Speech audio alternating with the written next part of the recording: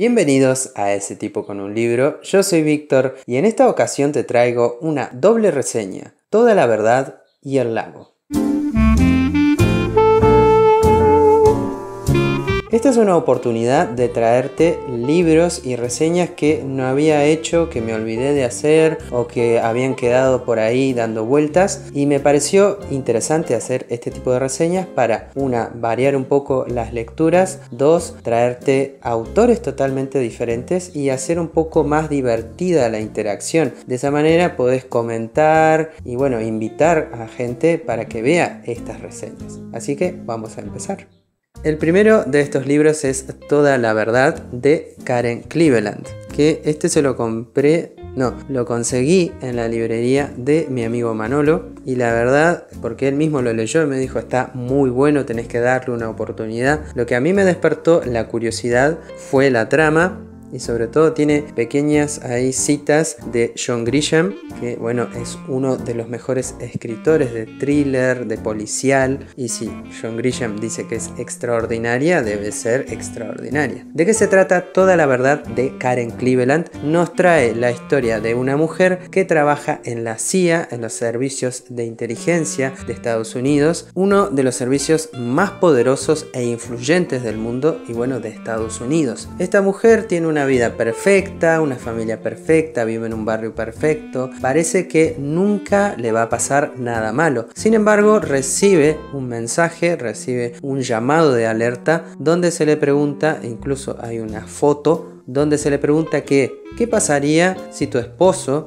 en realidad tu perfecto esposo, es un espía? Cuando yo empecé a leerlo y veía que los malos eran los rusos, tenía ahí un prejuicio porque me molesta bastante que los yanquis sean los buenos, los rusos sean los malos o los latinoamericanos sean los malos. Sin embargo, a medida que te metes en la trama y en la vida de esta mujer, vemos que hay diferentes capas dentro de la novela. No solamente te muestran el conflicto que hay entre la mentira y el engaño que ella sufre, sino también la vida diaria como esposa, como mujer, como trabajadora dentro de esta agencia de inteligencia. Hay mucho de la vida en pareja, de los secretos que pueden llegar a esconder tanto como un esposo o una esposa. Lo que plantea mucho la autora es que nunca vamos a terminar de conocer a quién tenemos al lado o ya sea un esposo o esposa o familiares. Esta trama me parece muy enigmática, el ritmo es eh, de frenesí total. Yo cuando lo empecé a leer creo que lo habré leído en tres días y me encantó. Para dato de color, eh, la autora Karen Cleveland, ella eh, que también es agente de la CIA, cuando quedó embarazada pidió su licencia por maternidad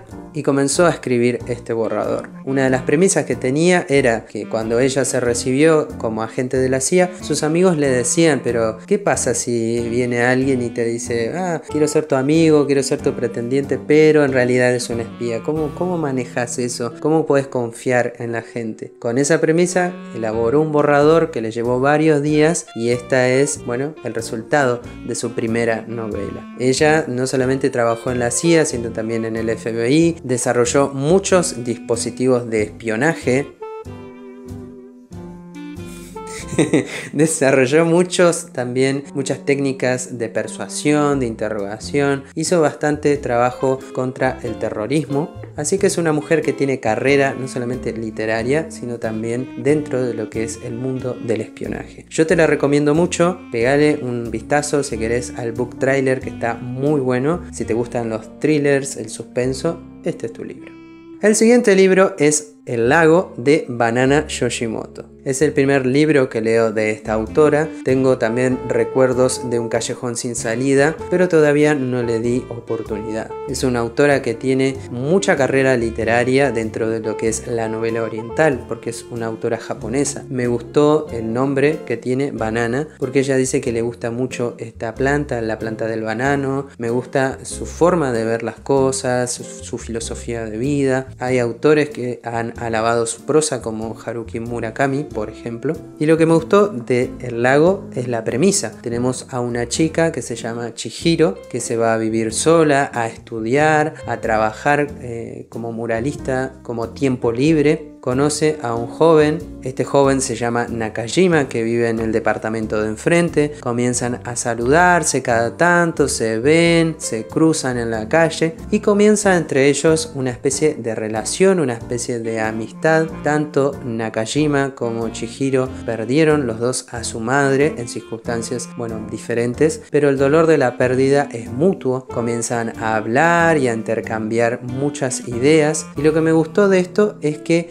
hace la autora una especie de análisis de lo que tiene que ver dejar el hogar, irse a vivir solo, conseguir trabajo, estudiar, conocer gente nueva. Habla también de la imagen que muchas veces nos hacemos los hijos de los padres, cómo llevamos esto de que es romper el lazo. Yo por ejemplo me sentí muy identificado con esto de, bueno, cuando me fui a vivir solo, esto de tener todavía la nostalgia del pasado, del hogar. Es una novela muy triste, desgarradora. Y aparte, bueno, tiene como escenario el Japón contemporáneo. A finales de los 90 hubo un ataque terrorista con gas sarín en 1995 en Tokio, en un subte o metro como se le conoce, y eso ha dejado a la generación no solamente de banana, sino también a la generación posterior una herida muy grande, sentimental, anímica, y eso ha llevado a muchos autores a explorar ese dolor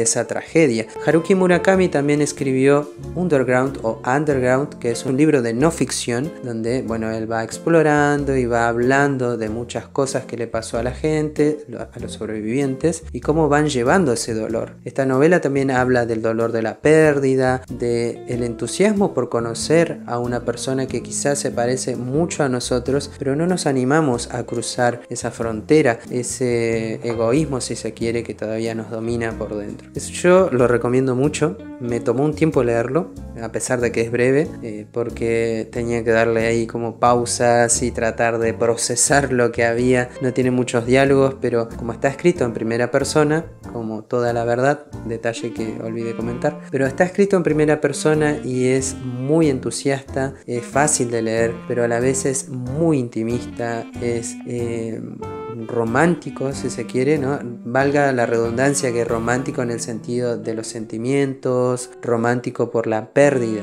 a eso me refiero. Así que para Clint Parker Books, que me dijo una vez que no se animaba todavía a leer los libros de Tusquets, yo creo que tendrías que empezar por este, darle ahí una oportunidad porque es invaluable lo que hace esta autora con muy pocas palabras, con muy pocas escenas, diálogos, incluso tiene una música interna esta novela que es atrapante y a la vez muy enigmática.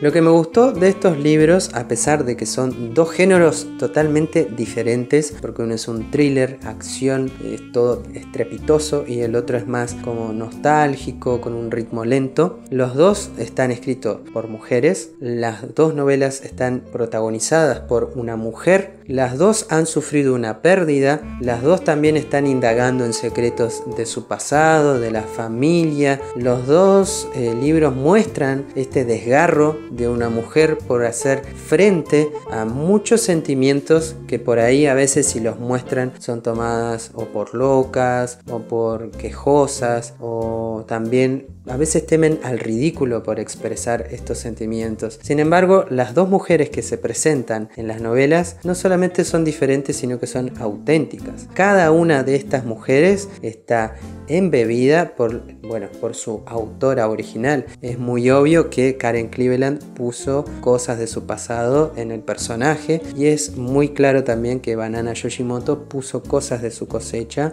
dentro de la historia. La historia reciente de Tokio, sus relaciones familiares y cuestiones así. También tiene que ver con esto de conocer a una pareja. Si bien en la novela de Toda la Verdad es un matrimonio constituido, tenemos flashbacks y tenemos recuerdos donde ella, eh, bueno, nos cuenta cómo conoció a su esposo, cómo lo vio, cómo se topó justo con él en una feria garage ahí que estaban comprando libros y entonces ella estaba comprando muebles para su casa y eh, esa forma en cómo te lo cuenta es tan detallista y es tan romántico que su contraposición con la tragedia y el dolor lo hace todavía más romántico. La forma en cómo se conoce Chihiro con Nakajima también es muy entusiasta, pero a la vez es como que da un poco de cosa porque ninguno de los dos se atreve a pasar la frontera del otro, porque lo separa una calle, siempre se saludan por la ventana, siempre se saludan así nomás, pero llega un momento que uno de los dos tiene que romper el hielo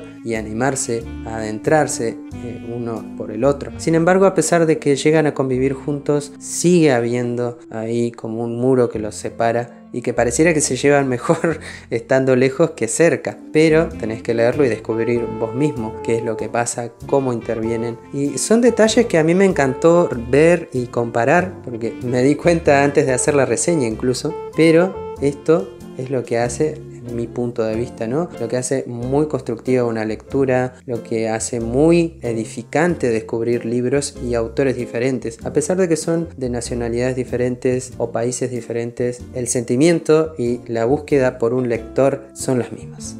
Creo que eso es todo por estas dos reseñas dobles. Eh, si te gusta este tipo de formato, este tipo de videos, recordá que podés comentar, podés suscribirte, activar la campana como hace mucho que no digo, todos dicen activar la campana, activar la campana. Bueno, compartí, pasale este video a un amigo para que se propague por el mundo lo que hacemos en este pequeño rincón de YouTube. Si llegaste hasta acá, muchas gracias por ver el video. Te voy a dejar un par de comentarios por acá si te gustaría salir. Te invito a comentar, como dije. Yo soy Víctor, esto ha sido una reseña doble. Nos veremos la próxima.